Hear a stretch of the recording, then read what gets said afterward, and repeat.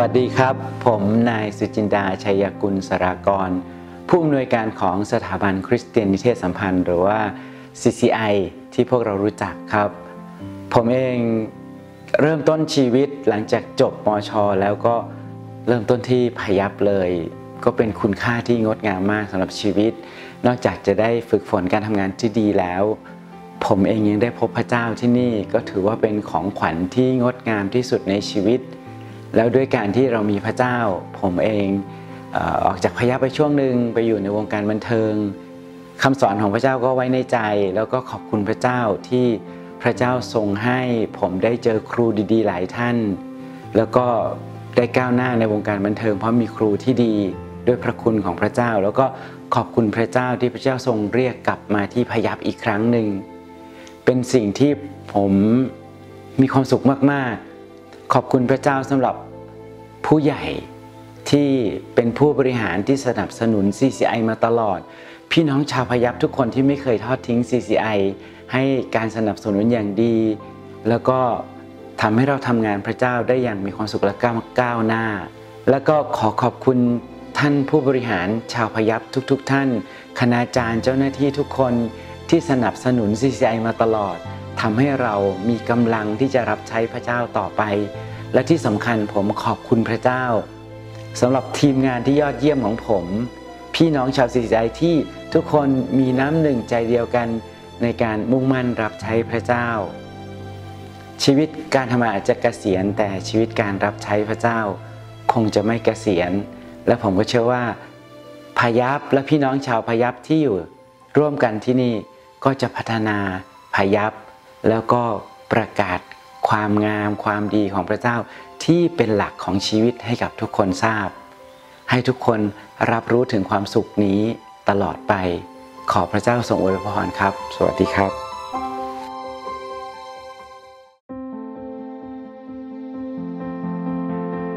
ครับสวัสดีครับ ผมอาจารย์เจนสิริจันสิริครับ ก็ตลอดระยะเวลาในการทำงานที่มหาวิทยาลัยพายัพ ปีนี้ก็ครบ 29 ปีนะครับ ต้องขอกราบขอบพระคุณ มหาวิทยาลัยพายัพกับขอบพระคุณมูลนิธิแห่งสไปจากในประเทศไทยนะครับกับขอบพระคุณผู้บริหารผู้บังคับบัญชานะครับพี่ๆเพื่อนๆน้องๆที่เป็นเพื่อนร่วมงาน ซึ่งล้วนแล้วแต่เป็นกัลยาณมิตรที่ดีนะครับ เป็นสิ่งที่น่าจดจำเป็นอย่างยิ่ง ผมมีความภาคภูมิใจครับที่ได้มาทำงานที่ มหาวิทยาลัยพายัพนอกจากผมจะจบที่นี่แล้วนะครับผมยังได้รับทุนการศึกษาให้ไปต่อที่มหาวิทยาลัยเชียงใหม่ในระดับปริญญาโทนะครับ เสร็จแล้วก็กลับมาทำงานนะครับ ครอบครัวได้รับสวัสดิการที่ดี ต้องบอกว่ามาก ๆนะครับ ทั้งภรรยาทั้งลูก ภรรยาผมจบที่นี่ครับ ลูกชายคนโตจบที่นี่ แล้วก็ยังได้รับทุนการศึกษา เรียนฟรีตลอดหลักสูตรนะครับ งานในภารกิจที่ผมรับผิดชอบ ต้องเรียนว่าผมเป็นเพียงฟันเฟืองหนึ่งเท่านั้นที่ช่วยขับเคลื่อน งานการเรียนการสอนในรูปแบบสหกิจศึกษา ณวันนี้มพายัพของเรานะครับมีชื่อเสียงทางด้านสหกิจศึกษานะครับ ทั้งในระดับสถาบันการศึกษาด้วยกัน ระดับเครือข่ายนะครับแล้วก็ระดับประเทศ ผมอยากให้กำลังใจนะครับคนที่จะปฏิบัติงานต่อไปนะครับ ว่าหมหาวิทยาลัยพายัพของเรานั้นเนี่ยเคยได้รับรางวัลสานศึกษาที่ดำเนินงานสากิจศึกษาดีเด่น ในระดับเครือข่ายนะครับ เมื่อปี 258 นะครับที่ผ่านไปนะครับ แล้วก็ในปี 2555 ผมเองก็ได้รับรางวัล ผู้ปฏิบัติงานสากิจศึกษาดีเด่น ระดับเครือข่ายนะครับแล้วก็ล่าสุดเมื่อปี260 นะครับ ผมก็ได้รับรางวัลผู้ปฏิบัติงานดีเด่นนะครับ ระดับเครือข่ายนะครับ แล้วก็ระดับชาติในปีเดียวกันนะครับ ในทัศนะของผมนั้นนะครับ ผมคิดว่าในการทำงานตลอดระยะเวลา 29 ปีที่กำลังจะผ่านไปเนี่ยนะครับ การทำงานใดๆก็ตามเนี่ยนะครับ ถ้าเรารู้และเข้าใจในเนื้องาน แล้วเนี่ยในทัศนะของผมผมว่ายังไม่เพียงพอนะครับ เราจะต้องทุ่มเทแล้วก็ใส่ใจ ลงไปในงานชิ้นนั้นด้วยนะครับ อันนี้ผมต้องเรียนฝากเอ่อเพื่อนๆบุคลากรทุกๆคนที่กำลังจะสานต่องานของผมในระยะเวลาอันใกล้นะครับ ท้ายที่สุดนะครับก็ต้องขอให้กำลังใจนะครับ บุคลากรทุกๆ คนที่ยังรับใช้อยู่ที่มพายัพแล้วก็ถ้าหากผมมีโอกาสแล้ว ผมก็จะมาช่วยเติมเต็มมพายัพตามโอกาสตามศักยภาพของผมที่มีอยู่นะครับ ฝากข้อคิดนิดหนึ่งนะครับ ผู้ใหญ่ดึงผู้น้อยดันนะครับ คนเสมอกันต้องประคับประคองนะครับ ขอบคุณมากครับสวัสดีครับ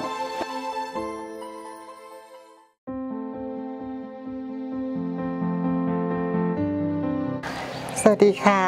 ดิฉันอาจารย์ชลิดาวสุวัตมาจากสาขาวิชาจิตวิทยา คณะมนุษยศาสตร์ สังคมศาสตร์ มหาวิทยาลัยพายัพ ในตลอดระยะเวลาที่ดิฉันได้ทำงานอยู่ที่มหาวิทยาลัยพายัพแห่งนี้ ดิฉันมีความประทับใจในหลายอย่าง ประการแรกเลยมหาวิทยาลัยแห่งนี้ ให้โอกาสทางการศึกษาแก่ดิฉันในระดับปริญญาตรี และได้ให้ทุนการศึกษาแก่ดิฉันไปศึกษาต่อในระดับปริญญาโทที่ประเทศสหรัฐอเมริกา จากนั้นมหาวิทยาลัยแห่งนี้ได้บรรจุดิฉันเข้าทำงานในตำแหน่งงาน การเป็นอาจารย์ผู้สอน ซึ่งนับได้ว่าเป็นงานแรกในชีวิตของดิฉัน และก็เป็นงานสุดท้ายของดิฉันเช่นกัน ตลอดระยะเวลาที่ดิฉันทำงานอยู่ที่สถาบันแห่งนี้ก็มีประสบการณ์ในการทำงานหลายหลากหลายดิฉันได้ทำงานในตำแหน่งงานของงานบริหารอยู่หลายปี และงานสอน งานบริการวิชาการสู่สังคม งานจัดทำหลักสูตร ไทยและหลักสูตรนานาชาติ รวมไปถึงงานผลิตผลงานทางวิชาการต่างๆ มากมาย ดิฉันมีความประทับใจและนับนับเป็นความโชคดีที่ดิฉันตลอดระยะเวลาในการทำงานณสถานที่แห่งนี้ดิฉันมีเพื่อนร่วมงานที่ดีเป็นกัลยาณมิตรมาโดยตลอด และดิฉันได้มีส่วนร่วมในการผลิตบัณฑิตถึง 37 รุ่น ก็นับว่าเป็นความประทับใจที่คงไม่รู้ลืม ถ้าจะให้กล่าวถึงความประทับใจอื่น ๆ ด้วยเวลาจำกัดดิฉันก็ไม่สามารถที่จะเก็บรายละเอียดทั้งหมดมาได้นะคะ แต่ว่าอ่าสถาบันแห่งนี้เหมือนบ้านหลังที่สองของดิฉัน ตลอดระยะเวลาในการทำงานที่นี่และความมุมานะเพียรพยายามที่จะอุทิศตนให้กับมหาวิทยาลัย แน่นอนดิฉันต้องพบกับความเหน็ดเหนื่อย ความท้อถอย ความยากลำบากจนหลายครั้งที่คิดจะลาออก แต่ก็ ทิ้งมหาวิทยาลัยพายัพไปไม่ลงนะคะ ก็ทำงานมาจนกระทั่งถึงวันนี้ และในวันนี้เป็นวันที่ดิฉันลำบากใจมากที่สุด เพราะว่าต้องมากล่าวคำอำลา และรู้สึกใจหายมากที่จะต้องลาจากมหาวิทยาลัยที่มีความผูกพันมานานถึง 30 38 ปี 7 เดือน 38 ปี 7 เดือนนะคะ ซึ่งก็เป็นระยะเวลาที่ยาวนานมาก แล้วก็มีความลำบากมีความรู้สึกใจหายที่จะต้องอาจากมหาวิทยาลัยแห่งนี้ไป แล้วก็เพื่อนร่วมงาน แล้วก็ลูกศิษย์ที่อันเป็นที่รัก แต่ด้วยความที่ดิฉันอยากเห็นมหาวิทยาลัยก้าวไปข้างหน้า ดิฉันจึงตัดสินใจที่จะสมัครเข้าร่วมโครงการเกษียณก่อนอายุนะคะเพื่อที่จะเห็นมหาวิทยาลัยแห่งนี้ได้ก้าวไปข้างหน้าอย่างมั่นคงต่อไปอท้ายสุดสุดท้ายนี้ดิฉันขออวยพรให้มหาวิทยาลัย และเพื่อนๆ พี่ๆ น้องๆ ที่ยังคงต้องทำงาน ที่นี่ต่อไปขอให้มีมีความอดทนและมีความมุ่งมานะบากบั่นขอองค์พระผู้พระผู้เป็นเจ้าจงสถิตอยู่กับพวกเขาทุกคน และเป็นพลังที่จะทำให้เขาเดินหน้าต่อไปเพื่ออให้มหาวิทยาลัยฝ่าฟันจุดวิกฤตนะคะและฟื้นฟูมหาวิทยาลัยกลับมาได้เช่นเดิม ขอบพระคุณค่ะ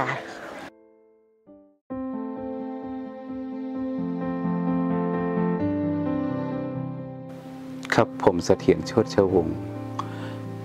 เจ้าหน้าที่หอจดหมายเหตุมหาวิทยาลัยพายัพเริ่มทำงานที่มหาวิทยาลัยตั้งแต่วันที่ 1 ตุลาคม ปีพศ 2536 จนถึงเวลานี้ 37 ปีตีเขาเข้าทำงานตรงนี้ ขอบคุณพระเจ้าครับที่โปรงที่ฮือกับข้าพเจ้าได้ทำงานณมหาวิทยาลัยแห่งนี้ ถามว่ามีความสุขไหมมีความสุขมากครับ ด้านของบาว่าจะเป็นการเพื่อนร่วมงาน มีความอบอุ่น การทำงานขับเคลื่อนไปด้วยดี สิ่งดีๆ ที่เข้ามาหาในกรอบของการทำงาน อยู่ในเพื่อนร่วมงานตัวเองแต่จะใดก็ตาม การทำงานมีเวลาที่เป็นตัวขับเคลื่อนในการทำงานของแต่ละคน นั่นคือวันเวลาเกษียณอายุงาน แต่จะได้ก็ตาม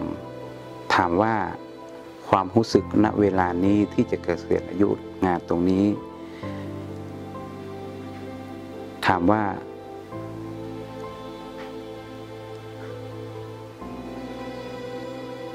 มีความรู้สึกจะได้พ้องในการที่จะถึงเวลาเกษียณนี้ถามว่า ดีใจไหมไม่ครับ ผมยังอยากจะทำงานให้กับมหาวิทยาลัยอยู่ อยากจะขับเคลื่อนให้กับมหาวิทยาลัยได้มีความพัฒนาไปทางที่ดีทิศทางที่ดีต่อไปในอนาคต แต่อย่างไรก็ตาม ถึงเวลานี้ต้อง ความรู้สึกนี้เป็นความรู้สึกที่อยากจะทำ ฝากบอกคือกับบุคลากรทุกท่านว่า ผมอยากจะขอฝาก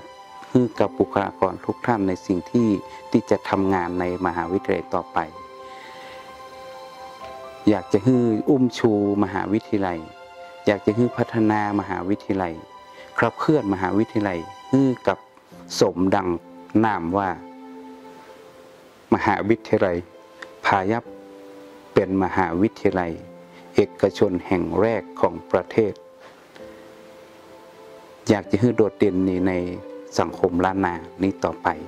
ขอพระเจ้าทรงอวยพระพรในการทำงานของบุคลากร ทุกท่านได้มีทำงานอย่างมีประสิทธิภาพและมีประสิทธิผล ขอพระเจ้าทรงอวยพระพรทุกๆท่านครับ ขอบคุณครับ